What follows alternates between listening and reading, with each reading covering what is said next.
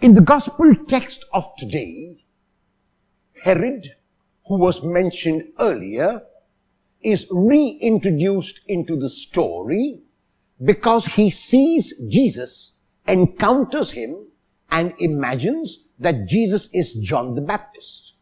This gives Matthew the opportunity to tell us the story of the death of John the Baptist, whom Herod had killed. John had objected to the fact that Herod had married his brother Philip's wife. While it was okay for a man to marry his brother's wife after his brother had died or to marry his brother's widow, Herod took the wife of Philip, his brother, when Philip was still alive. And John objected to this liaison. John objected to this relationship. John objected to this marriage. And the reason why John objected was because John was a righteous man. Because John was a man who came to show people the way. Because John was a man who came to prepare the way of Jesus. And anything which seemed illegal, anything which seemed wrong, John would point it out. He would dare to point it out no matter who the person was, no matter how high the person was in rank. John pointed out everyone and brought them back to the Lord. In this case, Herod refused to accept John's exhortation. Herod refused to accept John telling him that he should not do something like this, and especially when it concerns another human person. How would Philip have felt when his wife left him and went with Herod? How would Philip have felt when he was deserted and alone? And this is what John is pointing out to and also saying that Herod has done something that is not right in the eyes of God. Herod took the opportunity on his birthday when the daughter of Philip's wife, now his wife, danced and he promised to give her whatever she wanted, including half his kingdom because he was drunk at that time.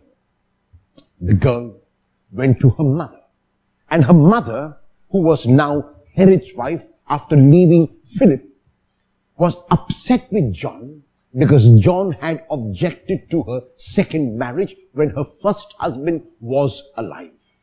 And she prompted her daughter to ask Herod for the head of John the Baptist on a platter. The girl went and told Herod.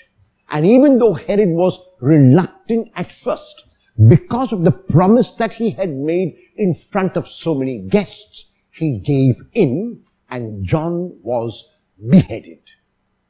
It is not easy to stand up for the truth. It is not easy to stand up alone it is not easy to raise objections when we see something wrong and especially when we are aware of it. We say to ourselves, it is not my problem. Why should I bother? Why should I get into trouble? Why should I report this? The challenge is to be like John. The challenge is, to say, I will do what I have to do. I will do what I believe to be right and I will leave the consequences to those who have to take action. I will point out the situation. I will speak about it. I will write about it. I will make it known.